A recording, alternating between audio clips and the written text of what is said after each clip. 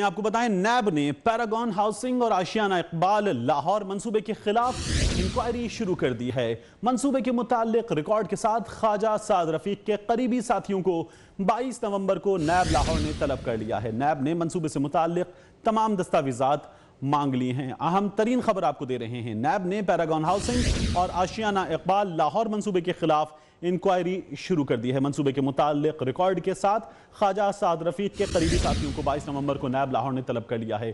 مزید جانیں گے ریحان گل سے۔ ریحان گل اپڈیٹ کیجیے گا اس بارے میں۔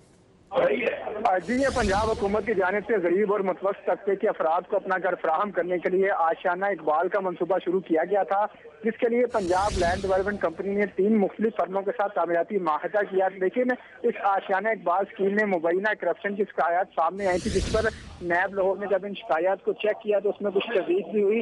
جس پر اب نیب لاہور نے ان تینوں کمپنیوں کے انتظامیہ کو حکم دیا ہے کہ وہ اپنا تمام ریکارڈ لے کر نیب لاہور میں حاضر ہوں۔ ان میں پیراگون ہاؤسنگ سوسائٹی کے انتظامیہ بھی شامل ہیں اور جن افراد کو طلب کیا گیا ہے، ان میں وفاقی وزیر ریلوے خواجہ سعد رفیق کے دو قریبی افراد بھی شامل ہیں۔ نیب لاہور کی جانب سے ہدایت کی گئی ہے ان مذکورہ کمپنیز کو کہ وہ مکمل معاہدہ اور فائلز کی تصدیقی کاپیاں بائیس نومبر کو ہمراہ لے کر نیب کے تفتیشی افسر کے سامنے پیش ہوں۔ جبکہ پنجاب لینڈ ڈیولپمنٹ کمپنی کو یہ کہا گیا ہے کہ اسکیم کا موجودہ اور ساتھ بائیس نومبر کو طلب کیا گیا ریحان گل بہت شکریہ ان اپڈیٹس کے لیے آپ کا۔